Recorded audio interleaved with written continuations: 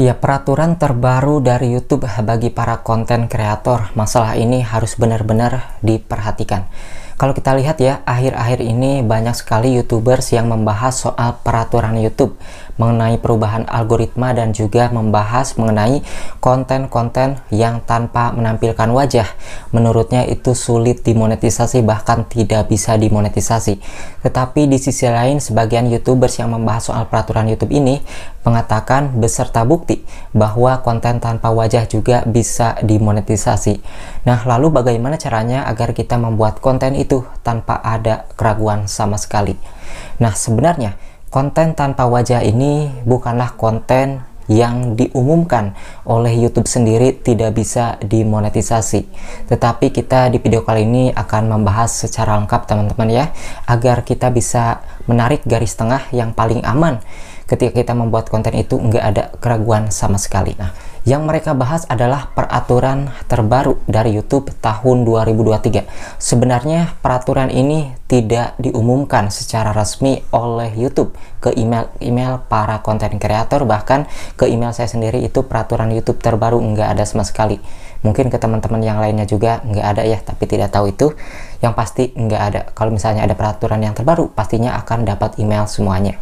Nah, yang dimaksud peraturan terbaru ini adalah banyaknya konten tanpa wajah dan juga konten-konten yang tanpa wajah ini dianggap tidak bisa dimonetisasi tetapi ada juga yang bisa dimonetisasi.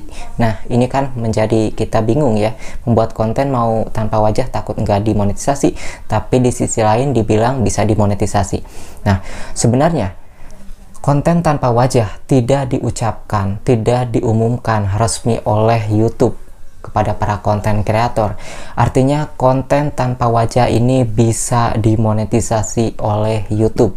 Tapi kenapa bisa rentan sebenarnya? Nah, di sini berpotensi rentan sulit sebenarnya ya untuk dimonetisasi, tapi sebagian lagi bisa dimonetisasi. Sebenarnya kalau kita lihat konten tanpa wajah ini kan banyak yang dibuat oleh orang-orang bukan reupload ya tapi original gitu ya hasil editan mereka sendiri bahkan hasil buatan video mereka sendiri. Contohnya adalah konten origami gitu ya membuat kayak uh, binatang burung gitu ya menggunakan kertas. Nah itu adalah kerajinan tangan Artinya konten seperti itu adalah konten origami.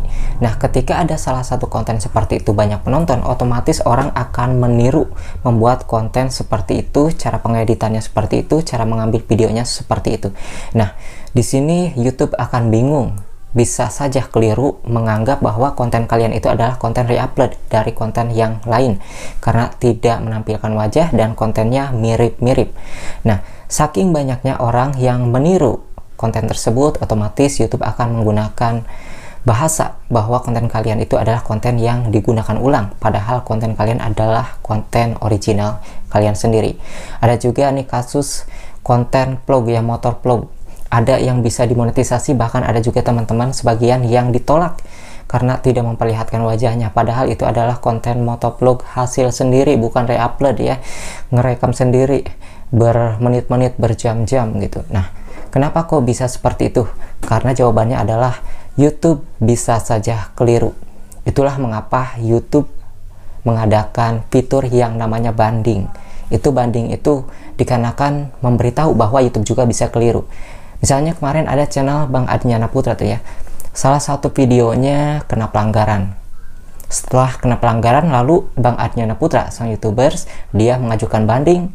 Setelah mengajukan alhasil diterima Nah, di situ diberitahukan mohon maaf ke, ke atas kekeliruan kami gitu ya. Nah, artinya YouTube juga bisa keliru.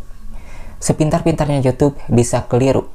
Kalian bisa uh, apa namanya? Bisa riset sendiri lah ya. Konten original kalian yang ditolak dimonetisasi bukan menggunakan cuplikan video orang lain, tapi konten original. Ada yang tidak bisa dimonetisasi karena itulah YouTube itu benar-benar bisa keliru sepintar-pintarnya YouTube juga teman-teman. Maka yang harus kita lakukan adalah buatlah konten yang paling aman itu dengan menggunakan wajah. Seberapa sering di konten kalian memperlihatkan wajah kalian maka YouTube akan mengenali bahwa channel tersebut adalah milik kalian sendiri. Karena kalian sering tampak mukanya di channel tersebut. Seperti itu ya. Bukan berarti konten tanpa wajah ini tidak bisa dimonetisasi tetapi rentan adanya yang sulit dimonetisasi. Sebagian orang ada juga nih yang konten tanpa wajah ditolak dimonetisasi lalu mengajukan banding dan memperlihatkan bagaimana cara mengambil video bagaimana cara mengedit video lalu bisa diterima kembali. Ada juga tuh yang mengajukan memperlihatkan uh, pengeditan videonya ya mengajukan bandingnya, memperlihatkan pengambilan video, pengeditannya, tetapi ada juga yang ditolak. Nah, maka ketika mengajukan banding ini juga ribet-ribet juga sebenarnya. Ada yang berhasil, ada yang enggak gitu ya.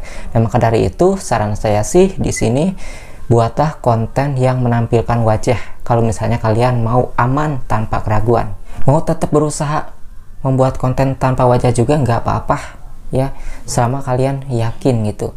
Karena kalau kita lihat dari peraturan YouTube itu sendiri tidak mengatakan bahwa konten tanpa wajah itu tidak bisa dimonetisasi tetapi pada kenyataannya ada yang rentan ditolak dimonetisasi. Itu teman-teman ya. Dikarenakan banyaknya konten-konten yang mirip dalam segi pengeditan dan pengambilan videonya dan juga pengambilan angle kameranya Nah, makanya dari kesamaan kemiripan inilah yang membuat konten tersebut sulit dimonetisasi ataupun bahkan ditolak ketika kita mengajukan pendaftaran monetisasi. Nah, mengenai perubahan algoritma ini sangat terlihat ya, sudah dibahas oleh beberapa YouTubers tutorial, adanya penurunan di penelusuran. Yang naik itu adalah konten-kontennya itu yang direkomendasikan ataupun juga fitur jelajah. Ya, mirip-mirip kayak TikTok. Teman-teman pasti merasa ya, ketika ada seorang youtubers ataupun ada YouTube channel YouTube yang kalian subscribe nyalakan loncengnya kemudian ada notifikasi ke handphone kalian channel ini mengunggah video. Ketika kita klik ternyata video tersebut adalah video yang enam hari yang lalu atau empat hari yang lalu. Tidak di menit itu tidak di detik itu tidak di hari itu. Nah inilah yang menunjukkan bahwasanya ada algoritma terbaru ada algoritma ini dirubah oleh YouTube ya. Kelihatan ketika ada notifikasi tidak semua channel YouTube yang kita subscribe itu notifikasinya ketika si YouTube itu pas upload. Ada juga yang setelah diupload 6 hari ataupun 10 hari baru ada notifikasinya. Nah itulah ya yang menandakan bahwa ada perubahan algoritma YouTube. Mengenai peraturan YouTube 2023 sebenarnya tidak ada secara resmi dibilang peraturan terbaru, enggak ada. Yang dibahas adalah perubahan algoritma dan juga mengenai konten tanpa wajah yang rentan sulit dimonetisasi. Meskipun tidak dikatakan secara jelas oleh YouTube tidak bisa dimonetisasi, tetapi hanya dikatakan adalah rentan karena YouTube juga bisa memiliki kekeliruan, adanya kekeliruan. Hal ini dapat kita lihat dari adanya fitur banding. Hal tersebut menunjukkan bahwasanya YouTube juga bisa keliru. Nah, maka dari sinilah uh, saran saya untuk teman-teman kalau mau buat konten gunakanlah dengan menampilkan wajah kalau mau aman karena sekarang itu mengajukan monetisasi itu untuk teman-teman yang baru mengajukan monetisasi mungkin jaraknya ditolak sampai mengajukan banding lagi itu sekitar satu bulan ya mengajukan uh, pendaftaran lagi. Tetapi kalau misalnya orang sudah ditolak monetisasi kedua kali itu mengajukan banding ataupun mengajukan pendaftarannya lagi ya itu sekitar tiga bulan. Lama juga kan? Nah maka dari itulah cari aman agar kalian ketika uh, ditolak monetisasi seperti ini kan uh, waktunya lama juga gitu teman-teman ya kecapek-capek. Maka dari itulah pilih yang paling aman dengan menampilkan wajah